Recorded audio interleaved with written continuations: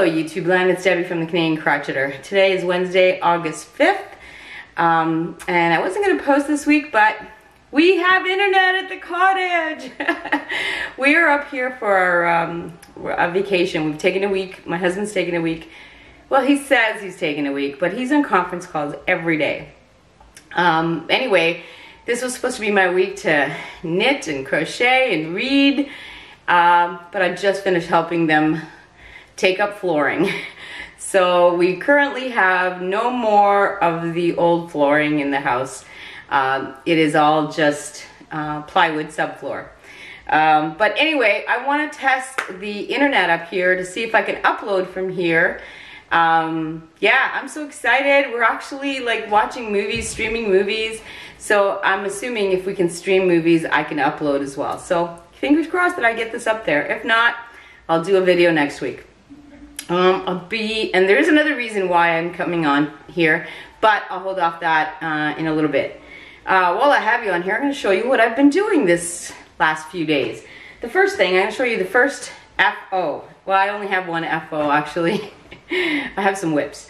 The first one is I found this fro Frozen Leaves Beanie crochet pattern. Okay, um, it is by Julie Schappert. Now, these patterns, I do not remember if they are paid for or uh, free, but I'll leave the link and you guys can figure it out. Um, anyway, I did this. Now, I'm always looking for ways, to, I have a lot of cake yarns, like one color, one um, cake of one color. So I'm just trying to find a way to do it. So I made this. Oh my God, it's so cute. It is so cute. Where is the seam? I don't know where the seam is. Oh, here it is. So let me show you the good side. Is that not adorable? Oh my goodness. And it was so much fun to do. Now, a uh, couple of things on it. There, the cake is using Caron Cakes, uh, and the colorway is Pumpkin Spice. There was another color in here, like a reddish pink color, and it ended after this yellow, and I did the top, and it, honestly, it looked like a boob. So I took it out and then I just added this color back in of there. So that's the color controlling that I did. That's the only color controlling I did. Anyway, it turned out really, really cute.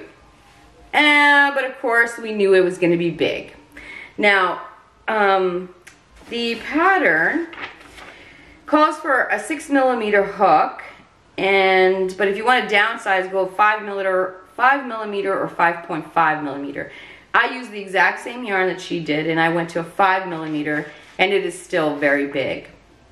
The problem is the difficulty in making it a different size is the repeat is something like 17 stitches or something so it's very difficult to make it um, uh, a different size. So I might I actually have another cake here in a different colorway. I might actually try it with a four millimeter four and a half maybe but the good thing about this pattern is extremely well written. I loved it. It was so much fun. If you, I don't consider this a beginner pattern only because there is a lot of front post and back post crochet. If you're comfortable with doing front post and back post, you'll have no problem with this.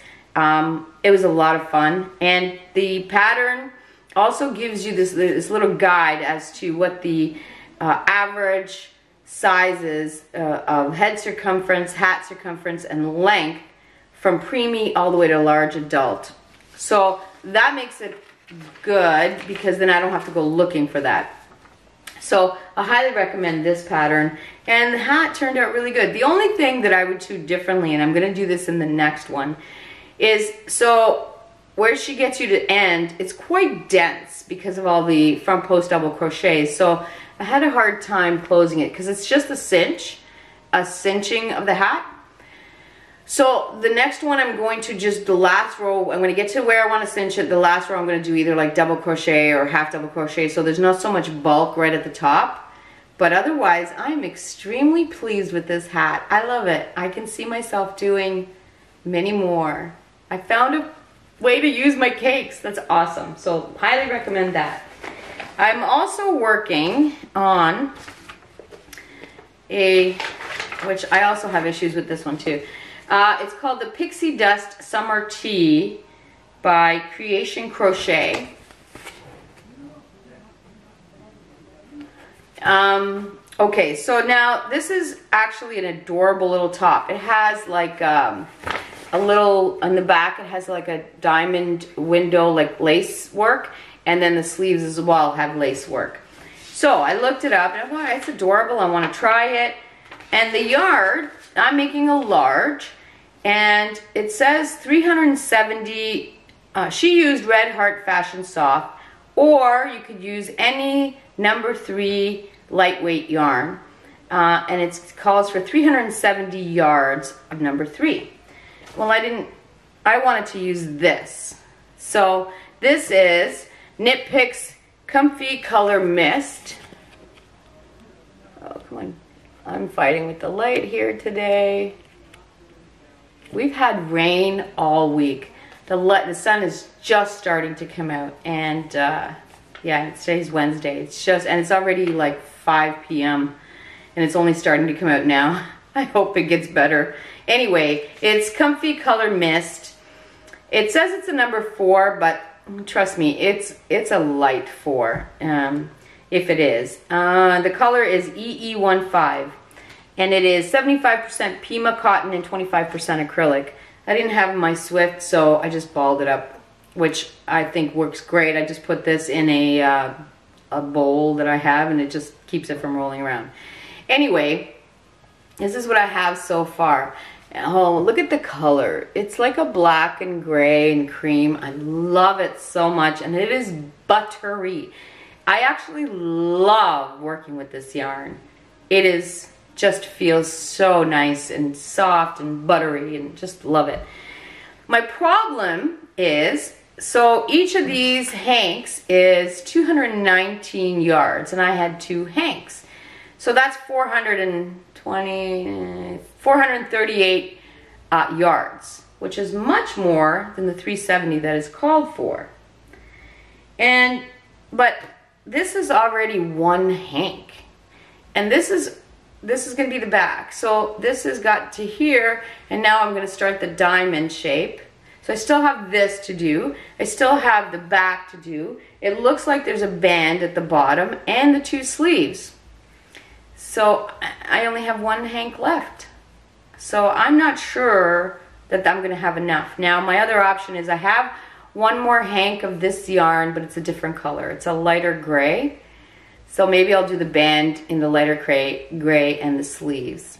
I don't know. It's a little disappointing because technically I should have enough yarn, but it does not look like it. It really doesn't. Like if this is the back, and I still have all this to do, and the sleeves, and the back, and the band, I don't know. So wish me luck. I hope I have enough.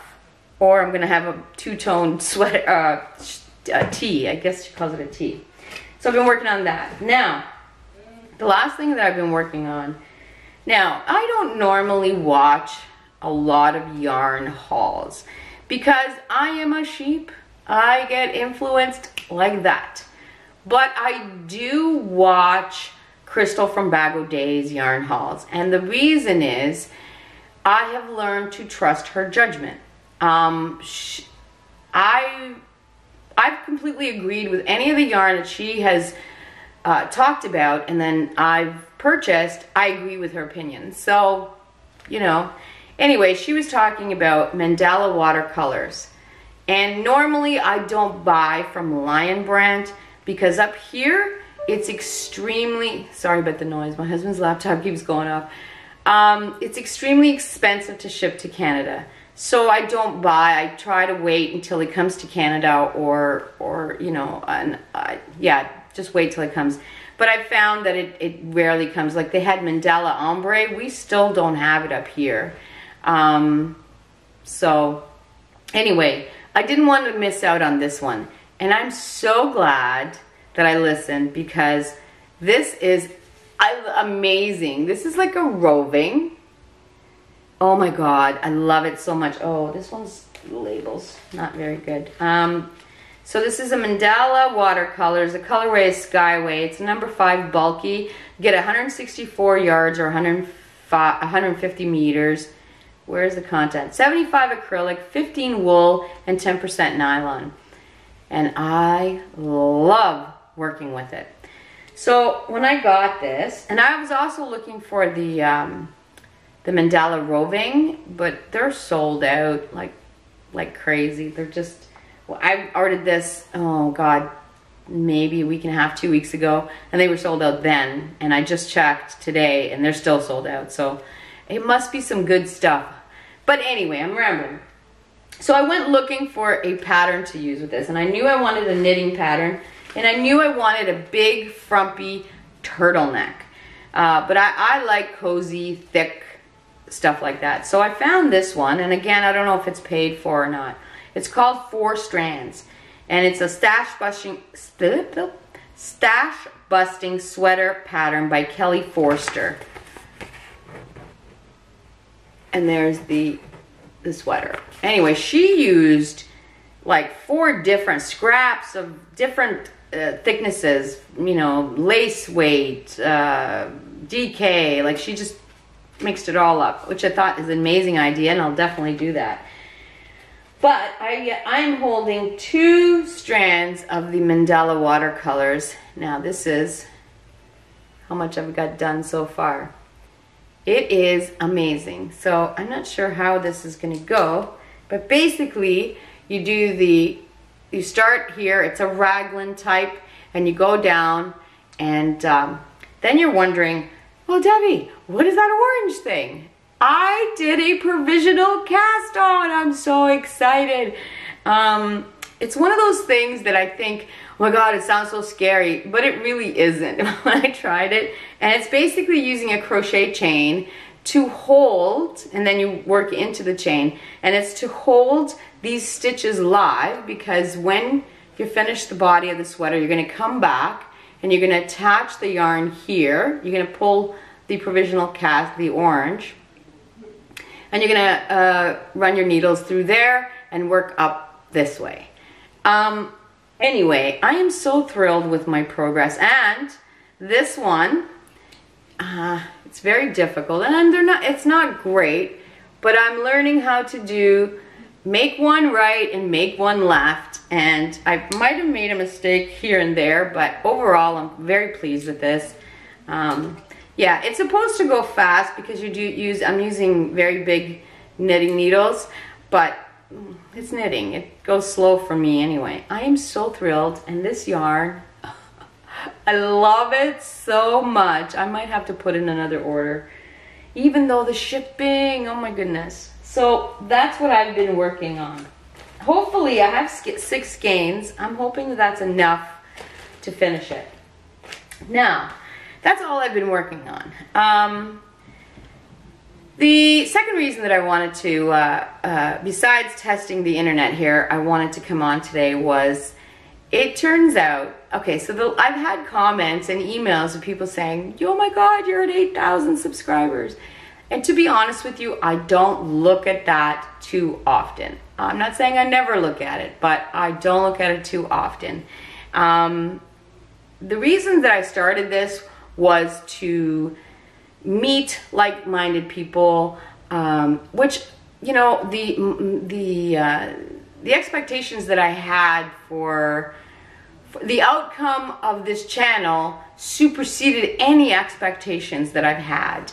Um, I wanted to just meet people, and which I've done. I've met some amazing, amazing people through this channel, and uh, yeah, I have no other expectations of this channel. So to meet 8,000 subscribers, like, first of all, blows my mind. But I'm not one that does the keeping track of, you know, like I really don't keep track of the analytics or anything like that. So, but it's 8,000 subscribers. So we're gonna do a little giveaway. Um, I'm gonna announce it today. Leave a comment down below. Um, it doesn't matter what you what you comment. It would be great if you're a subscriber. Um, and then I'm gonna leave it open till the last day of the month, so August 31st. And the only reason for that is I've noticed that some people, it takes, like most people don't watch within a few days. They'll take, you know, two, three weeks, which is fine. and I don't want anybody missing out on this. Um, so August 31st it closes, and then September 1st I will pick a winner. I have no idea what I'm giving away yet. Um, when I get back home, I'll figure it out. Maybe I'll show it. Maybe I'll leave it as a surprise. I don't know. But uh, to celebrate 8,000, leave a comment and I'll pick one winner. Um, yeah. Uh, speaking of my channel, I'm gonna I'm gonna talk a little bit about my, channel. Like I said, I don't look at the analytics, but someone made a comment to me or sent me an email asking me why my thumbs up and thumbs down you can't see anymore. Uh, and that is purposeful. I turned that feature off uh, for a couple of different reasons. Um, but the main reason is every time I open up the video to make a comment, um, that's the first thing you see. How many thumbs up, how many thumbs down. And I did not want the negativity. If they would just leave the thumbs up, I'd be happy. But right beside the thumbs up is the thumbs down, and I don't I don't need that negativity. Now don't get me wrong, I'm not getting a lot of thumbs down, but it's inevitable, uh, especially since I've noticed that, uh, you know, a few times I have tracked it. Within the first hour, I'll get, you know, one or two thumbs down, and you know, it's like you're not even watching the video. So it must be somebody who's just stalking me and saying, you're getting a thumbs down, even if, though I'm not gonna, I have no intention of watching the video. So that's fine. I don't need that. I don't need to be slapped in the face every time I open up my video. So um, I, it is still available. YouTube still collects it. So by all means, if you want to give me a thumbs up or a thumbs down, YouTube still collects that analytic uh, or that data. Um, and I, I can see it, but I actually have to go into the editing portion of the video to see it. Um, yeah, so I will look at it only if I feel like it. There are some people out there who are just not nice, and uh, I don't want to give them a platform. I don't want to get obsessive over thumbs down, but I don't understand that either because from what I understand, the thumbs up and the thumbs down basically mean the same thing. The analytic is collecting um, activity. So you can give me a thumbs down, it means the same thing. so it'll push, the, the analytic will, uh, YouTube's analytics will push my video up whether you give me a thumbs down or thumbs up. You know, but thumbs up makes me feel better. But anyway, so if you feel the need to um, give me a thumbs down, by all means, you know. It's so easy to just give somebody a negative thumbs down without, you know, backing up your opinion or whatever, you know. Why? Are you afraid you're going to get blocked? Yeah, you're not going to get blocked if you're polite about it. If you're going to be nasty, you're going to get blocked. That's just it, you know. I'm not doing this um, to get bashed, to get beaten. That's silly.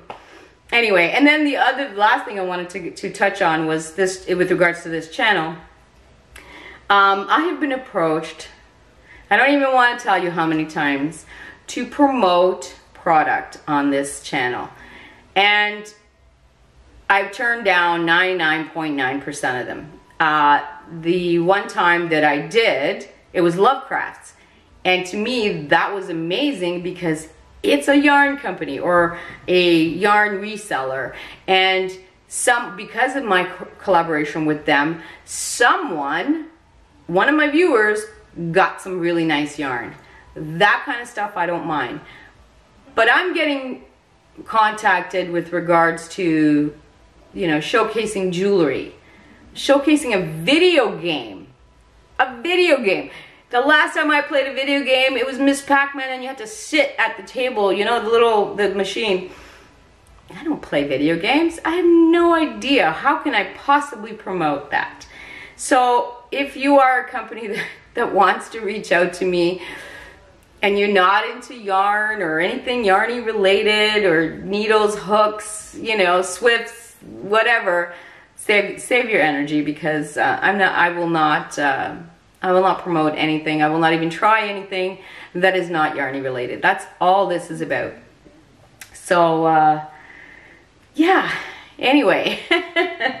I am done and we're about 20 minutes, which is perfect. I'm gonna see how long this takes to upload. Um, I've been having, um, oh my goodness, my life is like all over the place. did I tell you guys my daughter broke her foot? She broke, so here's your foot, the three, and here's the toes, the three bones. I think they're called metatarsals.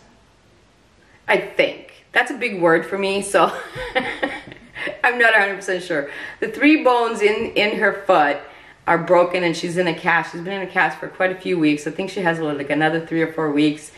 So what what she's been doing is she's been staying with her boyfriend for a week, so he takes care of her, and then she comes home for a week, and then I take care of her, and then back and forth, you know, so that no one person gets extremely tired of, you know, taking care of her. Uh, yeah, it's it's it's been crazy. So, and my mom moved, so I'm doing laundry again. Oh, oh, I miss her already. but uh, she's doing well. She's finished her quarantine in Fredericton, and you know, the day that she finished her quarantine, my daughter was planning this. She and her family have taken my mom uh, on a little vacation to Nova Scotia. Yay! So it's uh, she's she's loving it. So she's having a good time. But uh, yeah, I got to do laundry. Anyway, um, I think that's all I have for now. I hope everyone is having a uh, as good a week as I am. And uh, yeah, leave a comment down below. August 31st at midnight. It shuts off at 11:59. Um, you know the rules. Uh, YouTube is not affiliated. Nobody is. Nobody but me is affiliated with this giveaway. You must be over the age of 18 and uh, I will send I will uh, send it internationally as long as your country will allow you to receive it.